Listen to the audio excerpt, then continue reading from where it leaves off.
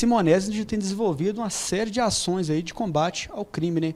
E o grande meta nossa da unidade, né, é o enfrentamento ao crime de homicídio.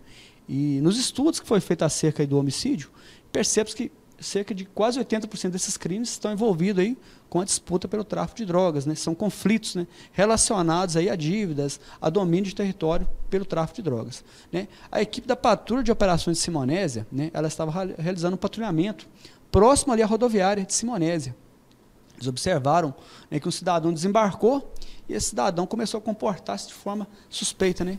Esse indivíduo ele foi abordado, identificado, um cidadão de 18 anos, e durante essa busca pessoal foi encontrado aí 20 papelotes de cocaína, né? uma grande quantidade de substância entorpecente e um telefone. Então esse indivíduo ele foi preso, né, encaminhado para Manhuaçu.